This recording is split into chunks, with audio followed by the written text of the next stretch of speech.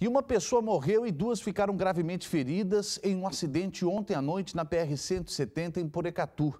De acordo com a Polícia Rodoviária Estadual, um Uno de Porecatu bateu de frente em um palio de Alvorada do Sul.